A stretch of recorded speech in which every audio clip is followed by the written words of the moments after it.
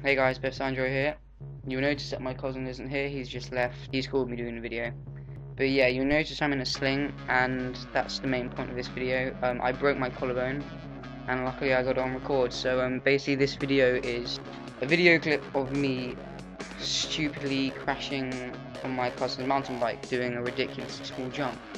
And um, when I watched it over, I have to admit I did laugh because it was a bit retarded.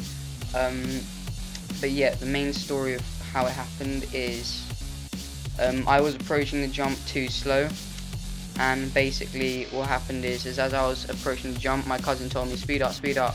So what I did is I pedaled harder, and two pedals sort of clicked really like really suddenly. I think it was to do with the chain or something, and um, I didn't get my speed up um, fast enough, so I went up the jump. I don't know what happened. I just nose dived it and yeah I did like a massive flip at the end. I front wheel hit the ground and I just flipped over. And yeah it did hurt and yeah honestly laugh your asses off because it was funny watching it back. And also the funny thing is is that the jump's so small and I, I managed to break my collarbone doing that. I have done bigger jumps. But yeah enjoy.